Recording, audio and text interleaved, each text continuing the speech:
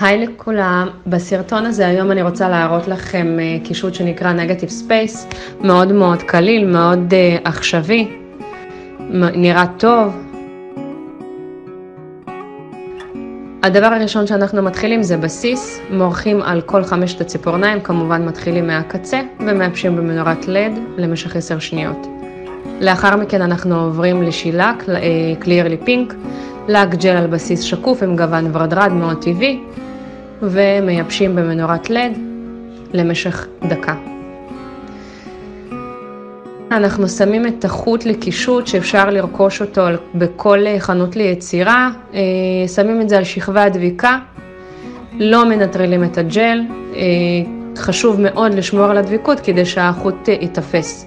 חוט שהוא בעצם מנצנץ, מחליף אה, גוון, נראה מאוד מאוד יפה, מאוד אה, צבעוני ומקושט, אפשר לעשות איתו כל מיני אה, דברים, כל מיני נהל ארטים לטעמכם. אחרי שאנחנו מסיימים עם החוט, אנחנו עוברים לטופ. כמובן, שוב, מתחילים מהקצה החופשי על מנת לבצע סגירה, ועוברים על כל חמשת הציפורניים. וכמובן, מייבשים במנורת לד למשך דקה. מסיימים עם שמן והלקוחה שלכם התחדשה. תהנו.